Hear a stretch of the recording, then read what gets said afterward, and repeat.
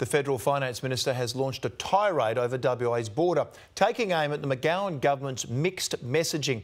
Matthias Cormann says West Australians were being locked up indefinitely as businesses in the state's north face ruin.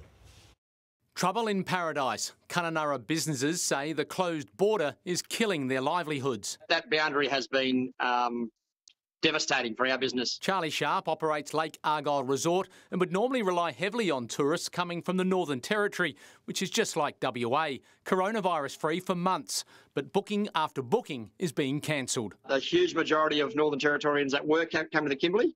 Uh, as we speak for the uh, September October holidays, they headed up to North Queensland or even the Gold Coast. You tell me why somebody from the north of Western Australia should not be allowed to travel freely to Darwin and back without having to go into quarantine. I mean, th there is no reason. Federal Finance Minister Matthias Cormann has had a gutful of the Premier's border policy. You can't get into a better position than zero cases and zero locally acquired transmission. On the back of 48 hours of mixed messaging from the McGowan government, the Senator took aim. Tell us why you are preventing people in Western Australia from visiting their family or having loved ones from those jurisdictions come to visit them here.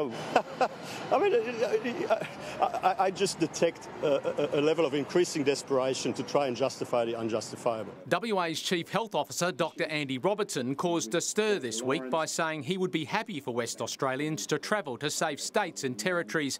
Hours after, his new health advice handed to the Premier said otherwise, prompting this attack on the Liberal Party. You just seem to want the virus to come back in. That seems to be what you're trying to achieve here. To, to make that sort of suggestion, it is false, it is offensive, and it is beneath him. Now, the Premier's office declined to comment on the Senator's swipe, but this afternoon, the Chief Health Officer, Andy Robertson, issued a statement. He says his health advice is always being reviewed, revised, and reissued. And, quote, there is no secret or alternative advice being provided. It's the end of another long week, Michael. Gary, thank you.